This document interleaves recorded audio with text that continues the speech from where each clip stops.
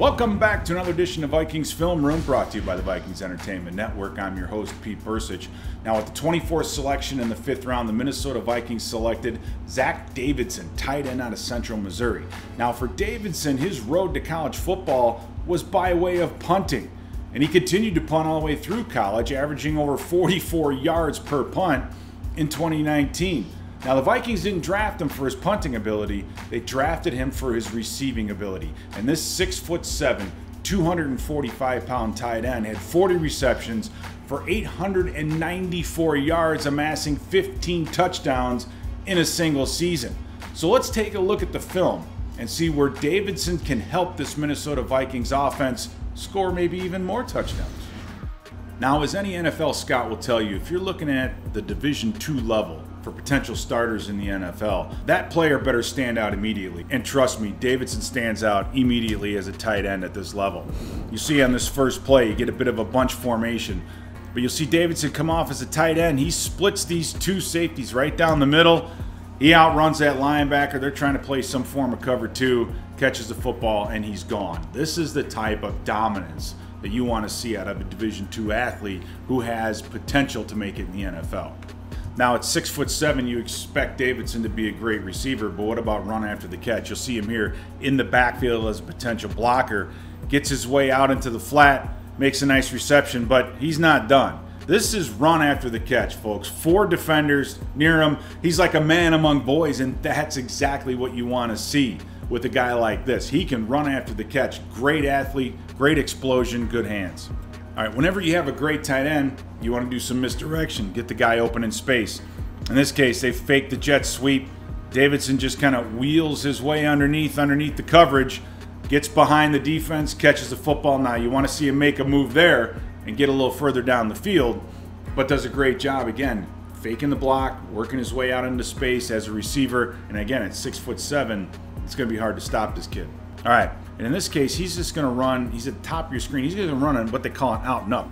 But you see him get out to the flat. He turns and looks, and he so he sells that out route, and then wheels, gets upfield, and that defender has no chance of catching up to him. Again, making it look easy, and that's what you want to see out of a Division two player playing against his peers. All right, Central Missouri again in the red zone. This is where tight ends become a threat. You get another tight end motioning over, fakes blocking down, leaks his way out to the backside. Easy throw and catch for another one of his 15 touchdowns in 2019.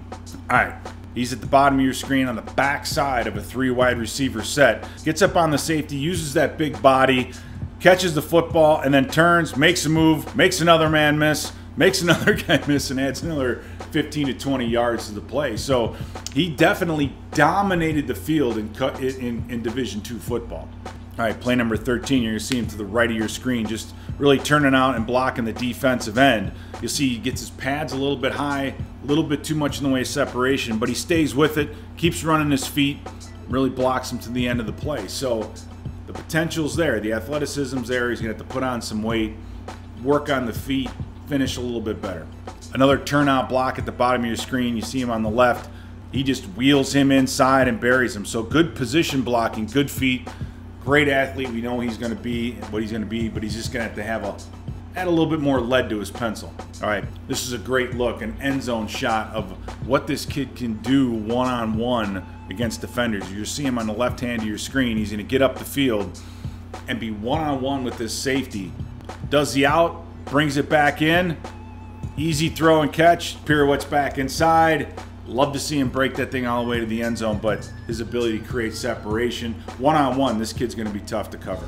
All right, again, another example of run after the catch. You see him as an H back here, motioning across. This is just a simple flat route. The blitz from the defense, the defender does a good job of hitting him and slowing him up, but he gets away from it, catches his football in space, and again, run after catch, able to move inside, stay on his feet, and get that first down, move the chains. So a tall, lanky, fast, athletic type player. He, he, he tries to block. He does his best. He's going to have to get a little bit bigger, a little bit stronger to help him with some of those blocks before he can be a blocker out of the backfield at this level.